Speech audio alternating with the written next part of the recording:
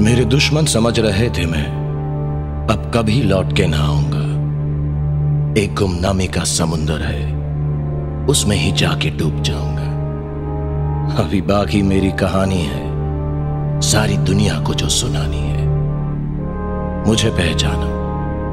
देखो मैं हूँ कौन। आ रहा हूँ पलट के। मैं हूँ